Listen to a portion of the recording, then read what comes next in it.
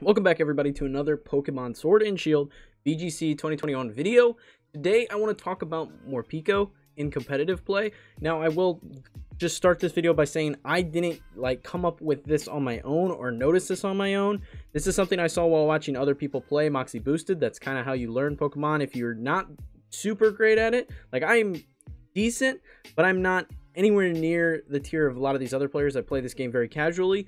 But I learned this from watching Moxie Boosted, and it is a really good strategy if you look at the Pokemon. So we're going to look at Morpeko today and just kind of break down why this Pokemon is actually pretty good. And I will show off a team I made with Morpeko that I have had quite a bit of success with. So we're going to get into that here in this video, but if this is your first time here on the channel, make sure you are subscribed for more videos like this in the future. But let's get into it. So I'm going to bring us over here. We're going to look at Morpeko.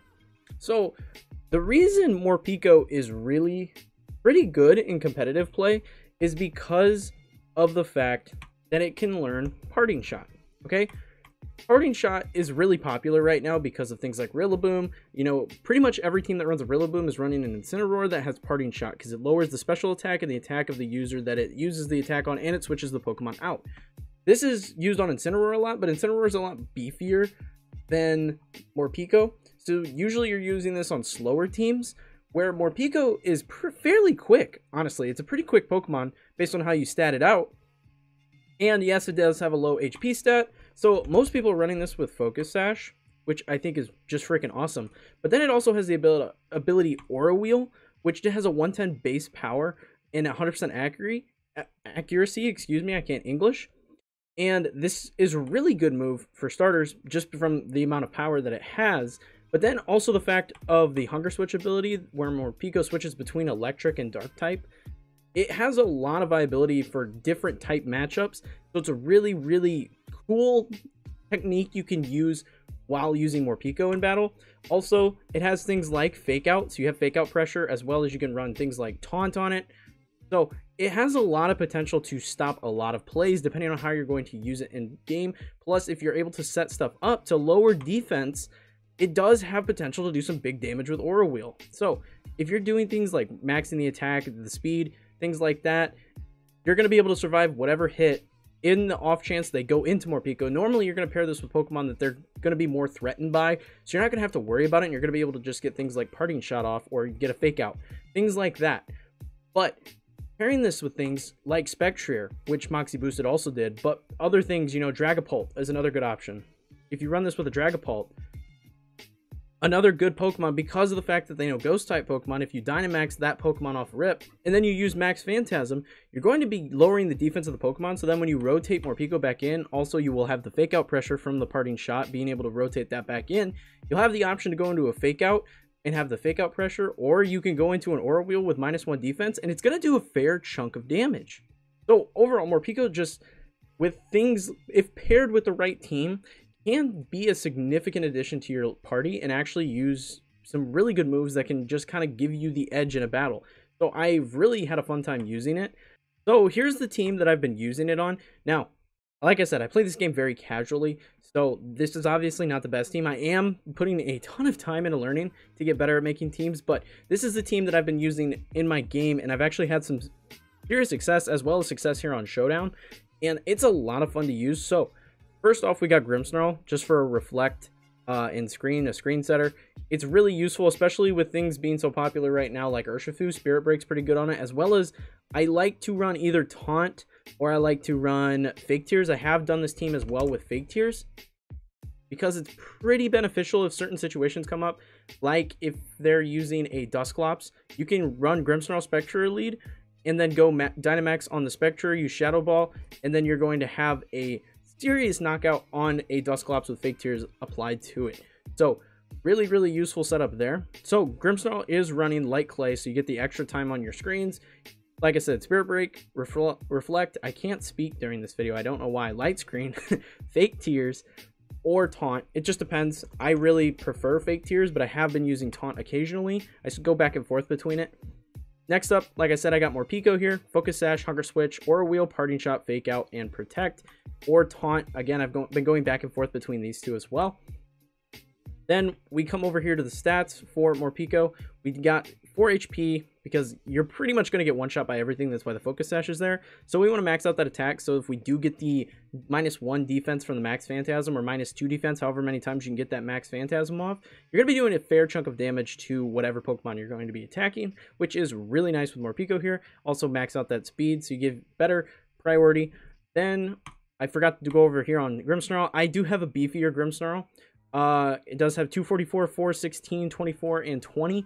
So it's going to be able to take a couple hits and you're going to be able to get your screens off. That's mainly the point of this thing. Or like I said, if you're running fake tears on it to stop Dusclops from setting up Trick Room because it is very popular Trick Room setter right now.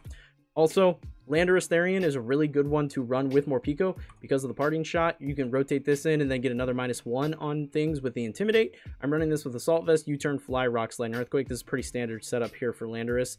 Uh, I do like bulkier Landorus, so we got 224 HP, 36 attack, 4 defense, 92 special defense, and 148 with a Jolly nature. Just so I have some speed. And this, like I said, it's mainly going to be doing a lot of intimidating and it's going to be doing a lot of rock sliding. That's the main purpose of this. It does have some potential if you do need to Dynamax it to, you know, handle things like uh, Rillaboom with Fly, Max Airstream. That's going to be doing some work. Things like that. Potentially beneficial. Also, I'm running this with Zapdos. I've run this Zapdos in other teams. I featured this in a Zapdos team I put up a video on a little while back. This is just, Zapdos is really good. It, it has a lot of coverage. And if you pair it with things like Tapu Fini, if you go for the Dynamax on Tapu Fini and use Muddy Water, you're going to be getting the rain weather effect in play, and then you can use Hurricane 100%. So really, really awesome. So with Zapdos, we're running Thunderbolt, Heat Wave, Protect, and Hurricane. Literally the exact same Zapdos that I showed off in the team the other day. The only thing that did different was I put Static on it because for whatever reason in that team build, I had uh, Pressure and not Static. Don't know why. Uh, Sitrus Berry, and it is a bulkier Zapdos, so we got 252, 20, 204, 28, and 4 with bold for the additional defensive stats. Because of things that are super popular right now like Stakataka is really popular right now. Also uh, glastrier is very popular right now so you want that extra defense for the you know icicle crash and things of that nature. Finally tapu fini. This is just a very very popular pokemon right now it's just it's like the top used fairy pokemon and it's for good reason. This pokemon's really good. It has a lot of beef to it and it stops the rillaboom pretty effectively with its misty surge. So really useful pokemon. Also Sitrus berry if you've you know, want to swap out Zapdos's uh, item for something else, you can use a Sitrus Berry here. It's also very effective on Tapu Fini. It helps because of how bulky this thing is. You can build this a little bulky, but I went for a little more special attack. I do prefer beefier Tapu Fini, I can say. Uh, but for this team, I have been running it with 252, 20, 16, 4, and 116. Now, I will say that, honestly, after using this team, it's better to just drop the speed stat. You maybe put four into it, but then uh, put the stats into the different defenses. That's my recommendation. After using it, the speed stat isn't going to matter that much for Tapu Fini. Most things are still going to outspeed you, so it's just worth it to have the extra defensive stats and make this as bulky as possible. Uh, I am running it with Muddy Water, Protect, Calm Mind, and Moonblast. Also, I believe it's, what is it, Icy Wind instead of Calm Mind is a good one if you needed. Uh, let's see. Icy Wind. Yes, Icy Wind. This is going to give you an advantage over Rillabooms, which are just beyond popular right now. So, honestly, you can swap out Calm Mind for uh, Icy Wind. This probably isn't going to be your main special attacker sweeper with things like Spectre and Zapdos on this team. So, Icy Wind usually is a pretty good bring in this team as well. I am making these changes kind of as I go because of just things I've tested and the other teams I've been building on the side. So, if I'm making any changes here, it's just because I've just learned from using this team and other teams. Uh, and I am running this with, I, I don't even have the nature changed on this, oddly enough.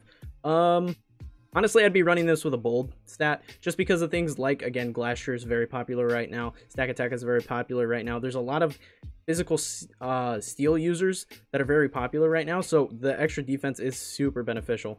You can run this with a, you know, modest nature if you want to do a little extra damage. That'll also give you an edge, but I like the beefier build personally. But again, like I said, you're probably going to want to get rid of the speed stat that I had on here originally and just like acclimate it to the different uh, defenses. I'd probably put it a little more into, um, this is not accurate by the way, this is just me sliding the sliders. Uh, I would probably put more into the defensive side. But yeah, that's the team. It's a lot of fun to use. I've been having, like I said, a fair bit of success with this team in game. Now, with these changes, I'd probably have a lot more success, but I would have to restat my Pokemon, so that's something I'll have to do in my free time. But I am working on other teams right now, and there are just going to be a bunch more teams and gameplay guides here in the near future. So if that is your jam, like I said earlier in the video, make sure you are subscribed for more stuff like this in the future. But that's it. Hope you guys found the video entertaining. Hopefully, if you did, be sure to leave a like and smash the subscribe button for more videos like this in the future. Be sure to check out the Discord people over there playing Pokemon, and be sure to check out my stream, my TikTok, all that other social media stuff if you're interested in keeping up with me, this channel, the stream, anything like that. But like I said, that's it for this one, guys, and I will see you all in the next video.